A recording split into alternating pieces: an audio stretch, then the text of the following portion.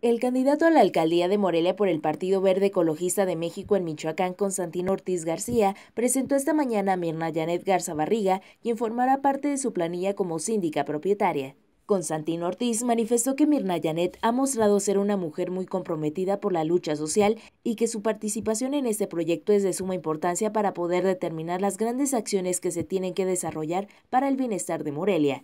Reconoció que es necesario recuperar las oportunidades para las mujeres, los jóvenes y para las personas de la tercera edad, así como rescatar a Morelia de la situación en la que se encuentra.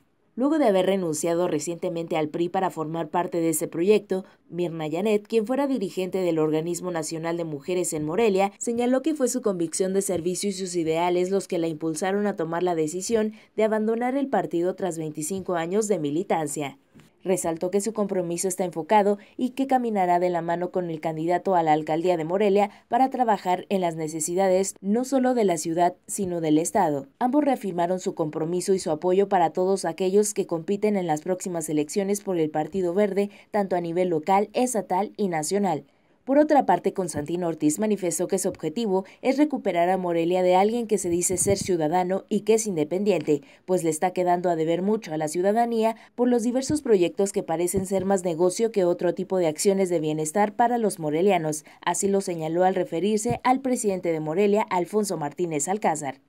Informó para En Directo Noticias, Grecia Rojas.